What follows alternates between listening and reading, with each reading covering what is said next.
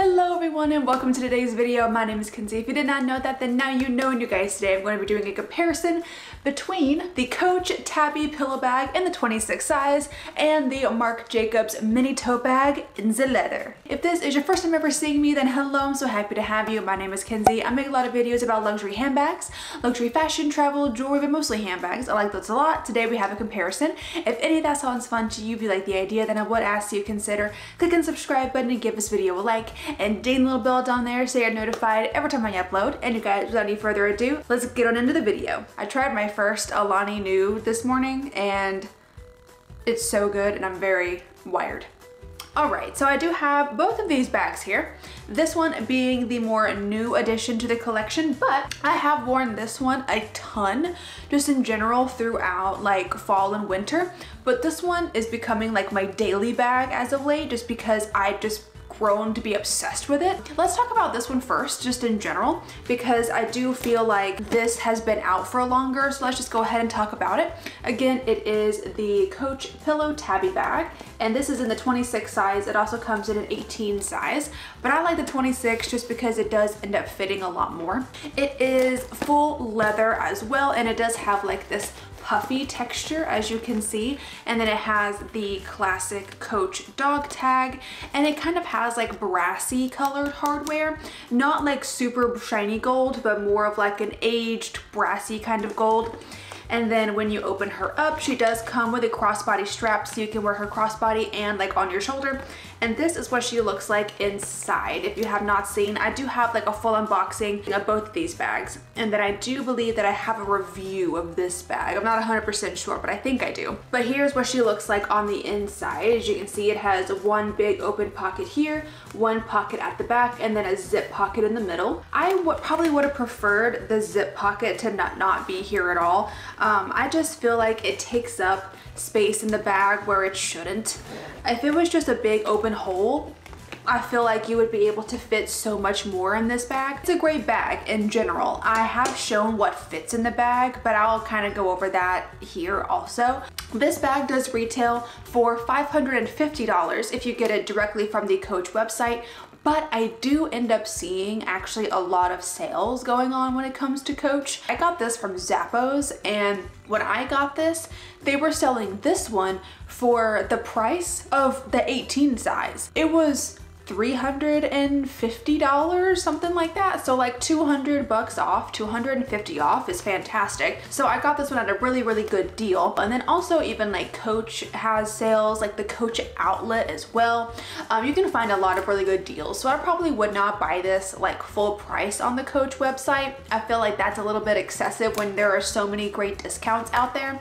Let me see what it's made out of. I know it is leather, but let me see. So it is Napa leather and smooth leather and a fabric lining on the inside. A, the detachable short strap has a seven and one fourth inch drop. The long strap, like the crossbody strap right here, has a 21 and a half inch drop for shoulder or crossbody wear. Yeah, so also there's a lot of ways you can wear this bag. This strap comes off also. So you can even wear this as a clutch if you wanted to. It's very versatile. The measurements of the bag in general are 10 and a half inches long, five and three quarter inches high, and then it is three inches in width. So she's definitely like a pretty chunky bag. I do like it, um, but I do love, again, how versatile this bag is. You can also, if you wanted to, clip on the crossbody strap with the, what is this called, shoulder strap on it. And you could just swap back and forth between if you want it crossbody or shoulder. You could wear it crossbody like this and then just have this strap kind of hanging down. And if you decide you don't want to wear it crossbody anymore, then you could just have it as a top handle and have this part hanging down. I normally don't wear it like that. I normally wear it one way or the other, like top handle or crossbody. I genuinely normally just shoulder bag this bag. That's how I typically like to wear it. I just think it looks nice. I don't really have any other reasons why. But then of course the strap right here, the leather strap, it is fully adjustable and removable. It has a lot of adjustability, so you can definitely make it very short or very long. And then it's got the lobster clasps as you could probably see. But yeah, that is pretty much all about the bag. Now let's just see what fits inside. I'm gonna take out the stuff from the Marc Jacobs bag because I'm actually using that one right now, but I've got my phone right here. Of course, she fits inside. I typically put my phone like towards the back right here. And I've actually really been loving carrying my sunglasses in an actual sunglasses case. I feel like it really just protects them a lot more. I normally wouldn't carry one that's like this big and bulky, but like the Marc Jacobs one fits, like it fits in there, so I think it's fine. And then, but this right here really does take up a lot of space. So I would be able to put my sunglasses case and my phone in the back part here. But as you can see, it kind of like pushes the front part. So it's not, you can't really fit too much more in the front section. Maybe you can. It's pretty malleable, so I'll figure it out. My card holder right here, of course, that I can just put in the front like that. She fits just fine. And then I have my new little baby. This is my Louis Vuitton mini pochette that I am so fond of. I love it so much.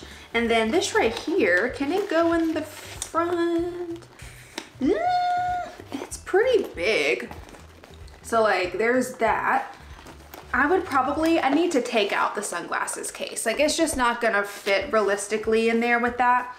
So I would probably take out the sunglasses case. I've still got my phone back there. So I could fit my card holder back here with my phone and that would be totally fine. And then also just remember there are so many things inside of my mini pochette like my gum, my lip gloss, my hand sanitizer, like all of my essential things that would just be thrown inside of here just willy-nilly are all inside of this. So it actually does end up saving space, believe it or not.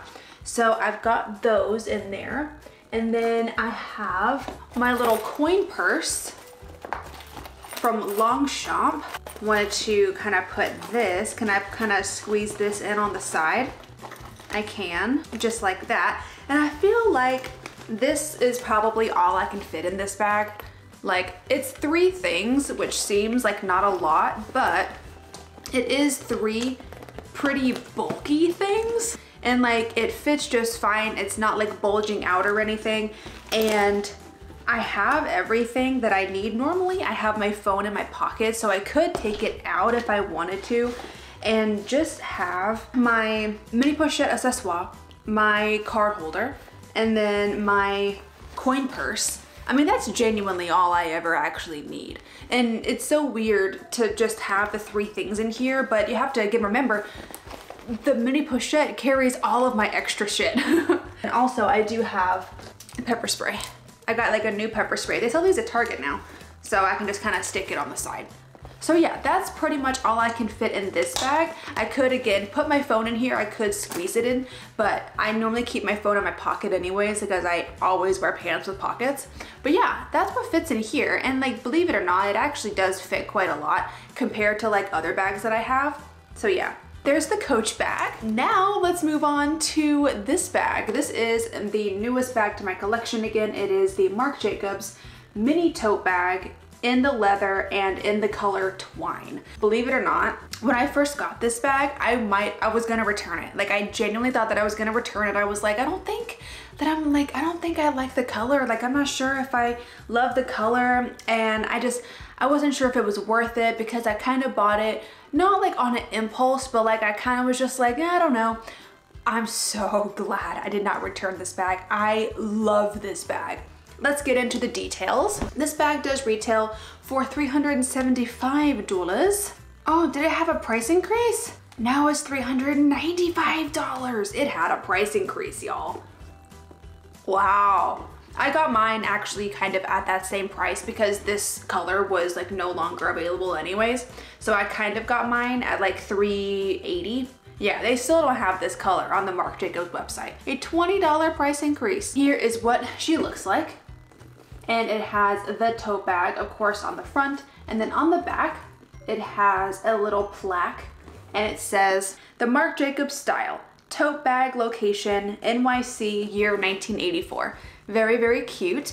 And this bag is now $395, but it is full grain leather, as you can see all the way around and it does have a top zip closure just like that it does have gold hardware also and then it also comes with its own crossbody strap as well it has one interior slip pocket one card slot oh that's what that is it's a card slot i didn't know what it was and then it has a dust bag so both bags are leather of course so it's got this pocket, this pocket right here. This is what I normally put my phone in. And then it does have this other tiny little pocket right here, which I actually used to put my gum before I got the mini pochette accessoire. She's very, flimsy. she's more like flimsy. She is kind of structure. She does have structure to her, but the sides do like to come out like this. I kind of wish they didn't. Like I really wish the sides had a little more structure and they went in like this and didn't come out like this. Um, also, this right here magnetizes. So you have this little tongue because the zipper unzips further than the bag goes just to make sure that you can fit all of your big items inside. And it magnetizes to this little bit just so it's not flopping around everywhere which is great. I had to change the camera battery. But yeah no this bag it's like such good quality for it not being like stupidly expensive. Like this bag just the craftsmanship is beautiful and on the coach bag as well. Like these contemporary brands are just killing it right now in my opinion. I just think they're so worth it i just love them like there's absolutely nothing wrong with the stitching. Like the stitching is immaculate. Same thing again on the coach bag. It's just perfect. Now, the crossbody strap. Here it is. And I will say, I don't like either of these crossbody straps, like on the coach bag or on this bag. I just, I don't like it. I would prefer a different crossbody strap. The reason I don't like the coach one is because it doesn't have a little one of these you know, like one of these to put the end inside. So the end just ends up like just flopping around all the all the time and I really don't like that. But then I like the size of that one better. Like I like that it's thicker. This one I don't like because it's too thin. I wish it was the size of the Coach one, like the thickness. And then also it has one of these things, which I'm really happy about, but it's loose, like it's too loose and it doesn't actually keep this thing inside just falls out all the time, which is really annoying because I like to wear this as a shoulder bag sometimes too. I just think it looks really cute. And I tried to find separate straps on Amazon, but I could not find one that matched the color. So I'm just like, shit, I'm stuck with this. But again, it does have gold hardware and these have a lobster clasp. And these are fully adjustable and removable as well. And you can, again, make this pretty short or pretty long, depending on what you prefer. I don't actually wear this crossbody at all, really. I just prefer to wear it either top handle or on my shoulder. I think it looks really cute uh, on your shoulder, just like that. It's really, really cute. And then of course you can just leave it on and just have it kind of like dangling down. Like that's cute also. So you have like the option, you can top handle it for a little bit and if you get bored of doing that or tired, then you can crossbody it or throw it over your shoulder. Again, I don't usually do that. If I know that I might get tired carrying a top handle, I just take this with me and then I just clip it on when I need to. Again, very versatile. Um, you can also, of course, wear it over like on the crook of your elbow. They're both extremely versatile bags, so I don't think that you would be upset or disappointed with either one when it came to versatility. Um, this one right here, I will say one thing regarding the top handle straps, like the this part, is it is very, very stiff and it doesn't move very much. The bottom part does a little bit, but the top part is very stiff. So if you do wear this crossbody, I do notice that it kind of like digs in, like it there's not much wiggle room there so it can be a little bit uh not annoying but like the tiniest bit uncomfortable because it's not hard to like get in and out of or anything it's just i kind of wish that they flopped down a little bit more. I don't know, I'm just kind of nitpicking here. I'm trying to find a couple of cons because I genuinely do love this bag, but there have been a few tiny little things that I've noticed. Now let's go to what fits in this bag. If you remember, I did do a full unboxing of this bag and it does fit my Louis Vuitton medium agenda. I'm not someone that normally takes my medium agenda with me everywhere because I don't feel like I need that. Um, I don't go to like the office. I don't like go to work. I work from home and I don't have anywhere else to go that warrants me taking my medium agenda everywhere. So just know that it does definitely fit the medium agenda and it will also fit the smaller size. I don't know if it will fit the large agenda, the A5 size. So if you do know and if you have this, let me know in the comments if it does fit the A5 size agenda because it does fit the medium one pretty well with like a little extra room. Starting off, I normally put Where's me phone? I put my phone into the back pocket right here. And she just fits in so nicely. Like it's so nice to have just like a spot to put your phone and it fits so well. I've got my sunglasses case because I just really love the idea of putting, I love the idea of putting my sunglasses in a case. I just don't like having to like put them in like a microfiber little pouch. I want them to go in like a whole ass case. So this fits, no problem it's gonna like all fall over now because, yeah, there we go. Because there's not much in there right now. I kind of just end up shimmying stuff in. So I do have my multi-pochette accessoire right here that I will put inside. And she just kind of goes right in, just right in there. And then I have my card holder kind of behind that. And then I, I would show you, but I'm afraid it's just all gonna fall over. There we go. Like that. And then what I like to do is I actually do, again, I carry this strap with me just in case if I need to, I don't know, change the way that I'm wearing it. If I need to clip it on and do it over my shoulder or a crossbody moment, then I do have the chance to do that. I can still do that. And I guess this is a pro of the strap being thin because if it was a thicker strap, this might be harder to actually get in the bag. Yeah, so that's all one side fully packed. And then on the other side, I normally just keep my little key pouch, or not key pouch, coin purse. Yeah, my little coin purse on the other side, just like that. And it fits so nicely in there. Can you see her? And then I just put my pepper spray just like on next to that. And that's it. That's what she fits all in there. And then of course you could, you know, take stuff out, change it up. You could put other stuff in there, but this is what I have in here and I am genuinely just obsessed with this bag. It will also fit a water bottle as well, like could totally fit a water bottle. Also, there's plenty of space. Like up here so you could fit other stuff like just up at the top if you wanted to. Um, like you could fit your water bottle at the top here and then still be able to zip it. You could put in like maybe a small little jacket or like a little cardigan or something. Something pretty small like super thin would fit in here. I don't have anything else to fit in here so I just zip it and that's all she wrote. I love this bag. I'm so obsessed with it. I'm I adore it so much and I'm so glad that I kept it because I was like this close to sending it back, but I'm so glad I didn't. So yeah, you guys, that has been my comparison of the Coach Pillow Tabby Bag in the 26 size and the Marc Jacobs Mini Tote Bag in the color Twine. Let me know in the comments which one you prefer. Uh, let me know if you have either one of these bags. Let me know if you've been eyeing either one of these bags. Just leave me a comment down, be down below telling me anything because I'm nosy and I want to know that. But you guys, thank you again for watching this video. I hope that you did enjoy it. If you did, then go ahead and click up the like button for me and then subscribe if you want to. And again, be sure to ding the little bell down there so you're notified every time I upload. And you guys, I'll see you in the next video. Bye!